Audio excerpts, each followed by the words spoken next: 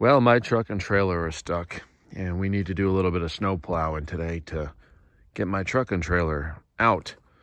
So we're gonna come over with the little Kubota and we're gonna hook up the plow to the back. We're gonna unhook this forklift and then clear this snow off. Ooh. Uh, it's been a while since I've done this thing. But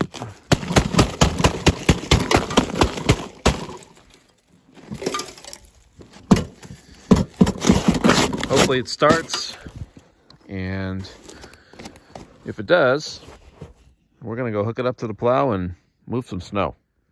Well it's like 15 degrees out and fortunately this thing's got glow plugs.